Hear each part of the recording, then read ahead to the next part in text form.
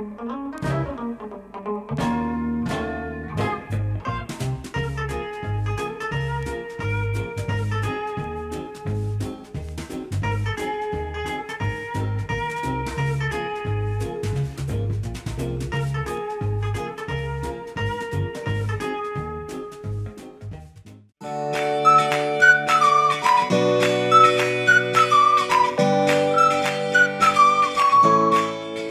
Oi, oi, oi, meus amores do meu coração. Tá tudo bem por aí, gente? Eu espero muito, muito que sim, viu? A receitinha de hoje é isso que vocês viram aí. Rosquinhas incríveis, deliciosas. Eu vou passar para vocês uma versão frita e também uma dica de assada aí para quem não pode comer fritura, tá bom? Meus amores, você ainda não é inscrito aqui no nosso canal, se inscreve no canal, ativa o sininho para você receber todas as notificações de receitas muito bem explicadinhas, porque aqui nesse canal só tem receitas muito bem explicadinhas, tá bom? E bora começar a receita. Esqueci alguma coisa, amor? Meu marido tá aqui me ajudando aqui, se eu esqueço, para ele me lembrar. Gente, numa caneca vocês vão colocar, olha só que simplicidade isso daqui. Numa caneca você vai colocar uma xícara de leite bem cheia. A medida das xícaras que eu uso é de 240 ml cada, então bem cheinha. 4 colheres, 200 gramas ou 4 colheres de sopa bem cheias de manteiga ou margarina. Eu tô usando margarina aqui, tá? Coloca aqui dentro. Vamos precisar de 4 colheres de sopa de açúcar, coloca aqui dentro. E agora nós vamos levar para esquentar essa misturinha aqui. Leva lá no fogo, deixa esquentar, não precisa ferver, não pode ser muito quente.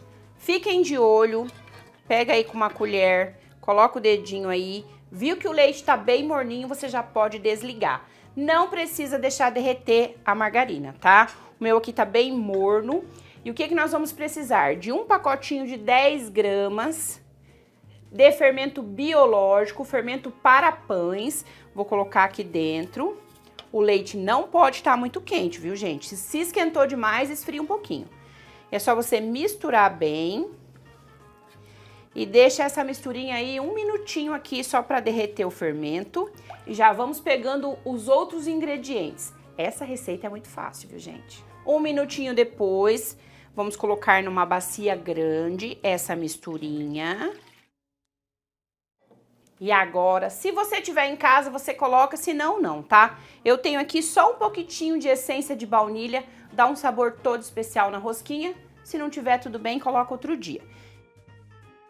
Vamos precisar aqui de dois ovos. Quebrei os ovos, vou dar uma batidinha aqui com o garfo.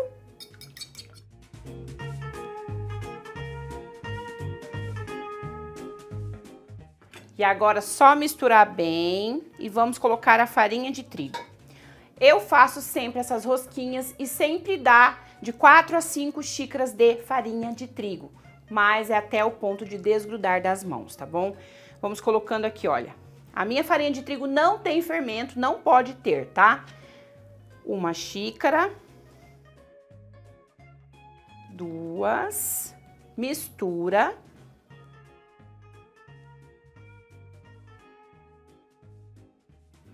Tô colocando aqui a terceira xícara de farinha.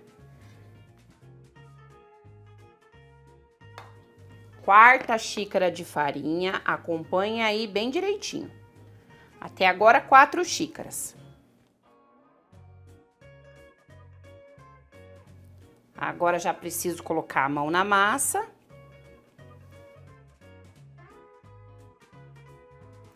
Tá muito mole, vou colocar a quinta xícara de farinha de trigo.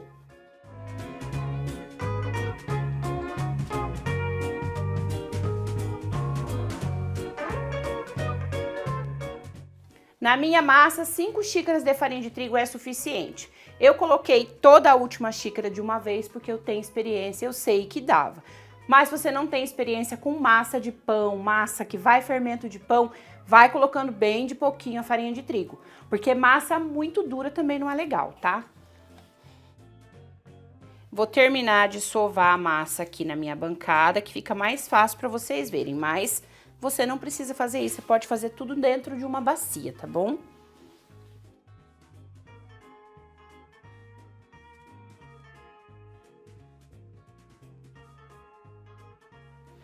E prontinho, fiquei sovando aqui por dois minutinhos, a minha massa já tá bem lisinha. E agora é só colocar para crescer.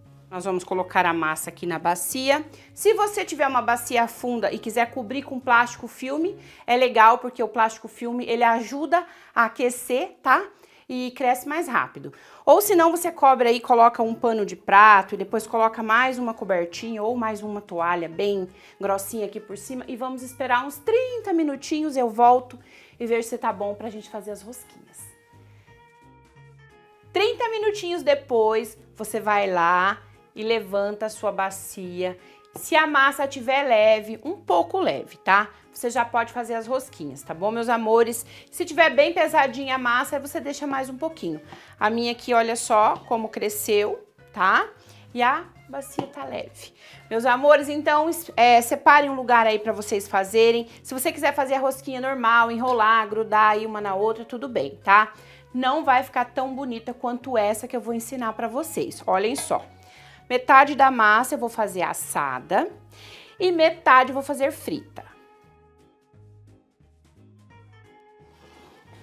Joga um pouquinho de farinha aí na mesa, na bancada.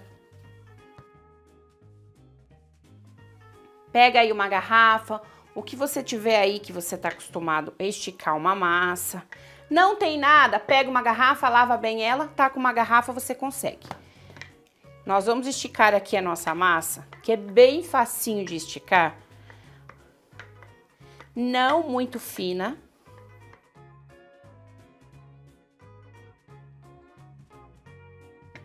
Olhem só, nem muito fina, nem muito grossa, tá bom?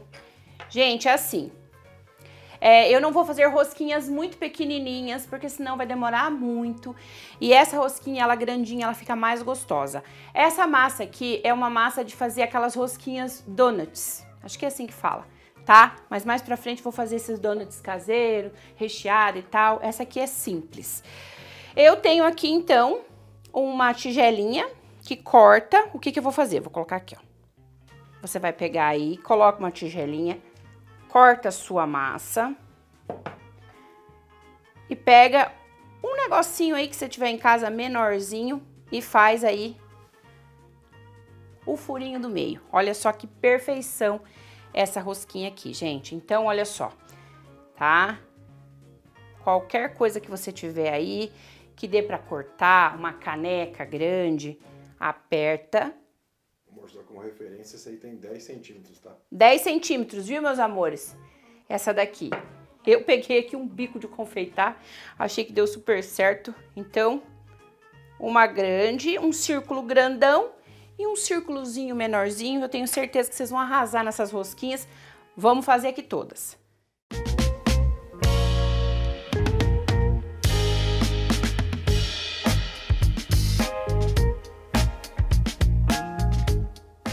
Os retalhos da massa, você junta tudo, claro.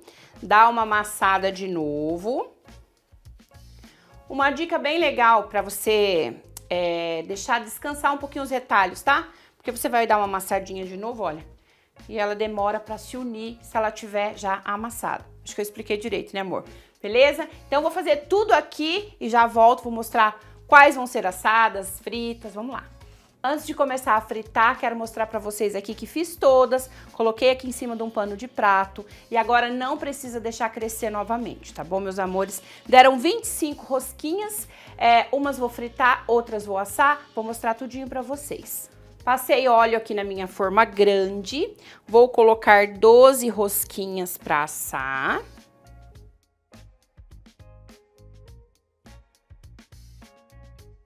Meu forno já tá pré-aquecido, 10 minutinhos em 180 graus. Vou levar lá para assar e já vou colocar o óleo para esquentar para fritar essas.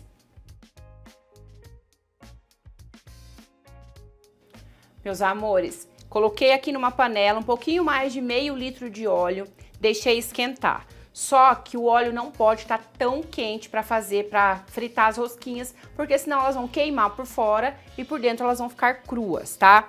E o que que você faz? Coloca ali, olha. Já tá bom de colocar, tá? Depois que esquentou bem o óleo, você baixa seu fogo para fogo médio, tá? não fogo muito alto. E vai colocando as suas rosquinhas de 3 a 4 por vez.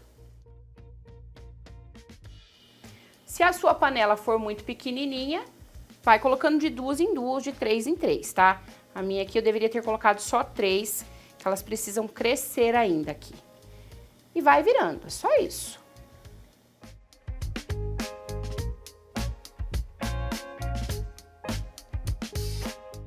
Tirou o olho da rosquinha, ela vai queimar de um lado, tá? Então fiquem espertos aí. As primeiras aqui já estão quase boas. Eu vou deixar uma dica para vocês de colocar no açúcar se você quiser, tá? Olha. Então, você vai tirar suas rosquinhas. Quem for passar no açúcar, vai pegar uma bacia aqui, olha. Tá vendo aí, amor? Já coloca um pouquinho de açúcar na bacia e coloca ali direto. E mais uma dica, é você jogar o açúcar por cima também, tá? Não precisa deixar uma, é, uma bacia cheia de açúcar não, porque senão ele vai ficando úmido e não dá certo. Então faz isso. Deixa eu colocar aqui, olha. Queimar. Cuidado para não se queimar.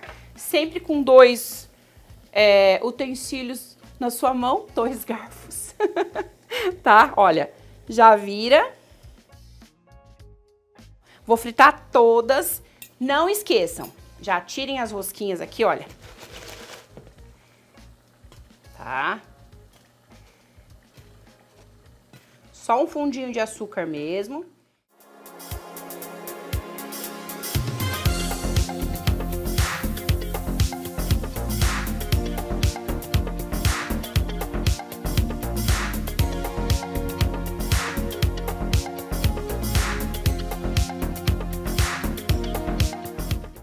Tchan, tchan, tchan, tchan. Ficaram todas prontas. Meus amores, deixa eu falar mais uma vez sobre é, passar a rosquinha no açúcar. Por que, que eu deixei a dica de você ir salpicando açúcar por cima? Porque se você colocar ros essas rosquinhas dentro de uma bacia e ficar chacoalhando igual bolinho de chuva, ela bate uma na outra e solta a casquinha. Ela é bem sensível, ela é bem molinha, tá? Então, agora que assei, as minhas ficaram 25 minutinhos o tempo todo em 180 graus. Vai depender do forno de vocês, fiquem de olho, não deixe assar muito, porque elas ficam muito duras.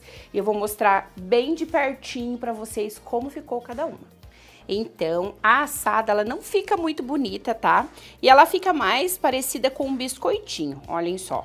Bem sequinha, mas para quem não gosta e não pode comer fritura, é uma opção, não é mesmo? E agora aqui, olha, a frita, ela fica assim mais bonita, como vocês estão vendo, com essa cara apetitosa demais. E é só você, olha, olha isso aqui. Ah. Gente do céu, isso aqui com cafezinho, olha que maravilha. Hum. Então é isso, né? Podemos experimentar?